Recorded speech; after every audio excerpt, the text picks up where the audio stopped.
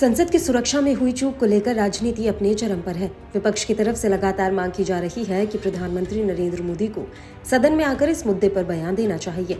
इस बीच प्रधानमंत्री मोदी ने एक अखबार को दिए इंटरव्यू में संसद की सुरक्षा में हुई चूक पर दुख जताया है। उन्होंने कहा है कि इस मामले की जाँच ज़रूरी है और साथ ही साथ इस केस की गहराई में भी जाना ज़रूरी है।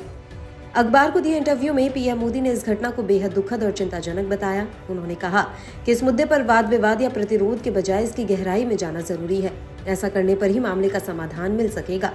संसद की सुरक्षा में हुई चूक को लेकर विपक्ष लगातार केंद्र सरकार को कटघरे में खड़ा कर रहा है। इन दिनों शीतकालीन सत्र भी चल रहा है। मगर सुरक्षा चूक को लेकर विपक्ष के हंगामे के बीच कई बार सदन को स्थगित करना पड़ा है।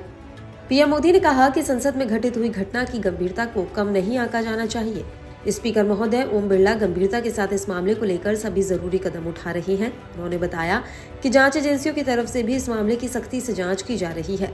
पीएम का कहना है कि इसके पीछे कौन से तत्व शामिल हैं, इसकी भी गहराई में जाना ज़रूरी है।